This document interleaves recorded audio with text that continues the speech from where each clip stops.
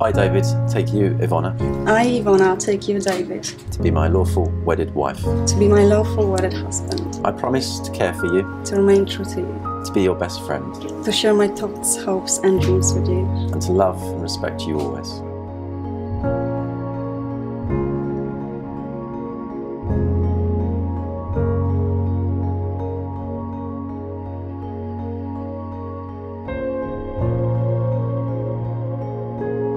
We started, going out together in 2010, and ever since our first date in glamorous Victoria, we've enjoyed spending time in each other's company, whether that be going on holidays, seeing friends, eating out, going to the cinema, or just lazing around the apartment watching American TV series.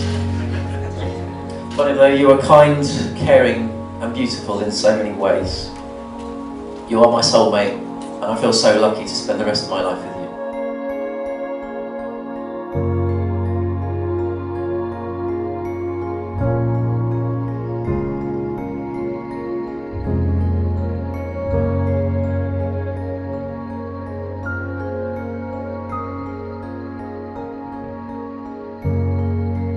I think you'll agree that he's matured greatly and has obviously met someone that gives him the confidence to express himself and is consequently happier now than probably at any time that I've ever known him. So therefore, I'd like you all to uh, raise your glasses and uh, toast to the uh, bride and the groom.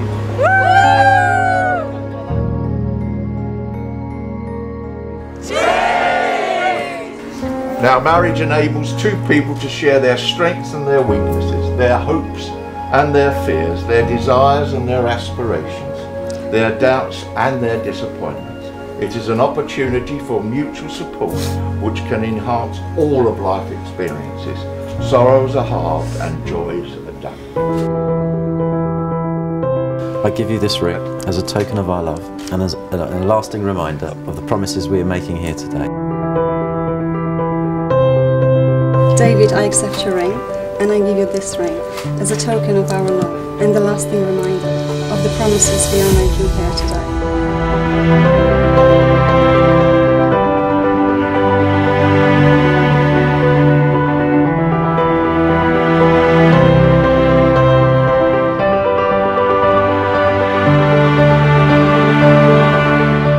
Can I ask you for a big round of applause to Mr. and Mrs. Richard?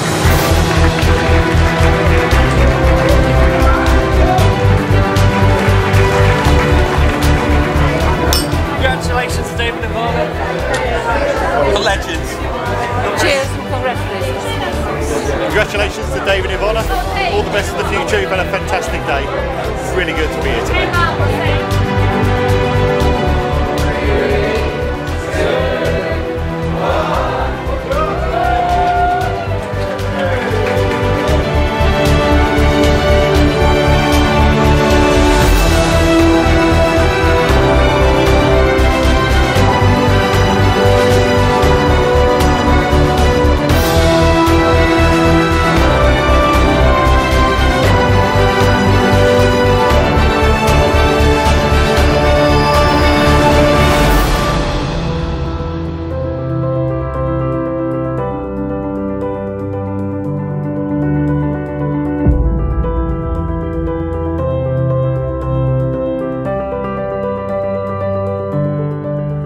Wonderful wife, Iwona. you're looking so pretty today, my darling. I think everyone would agree you look really, really pretty.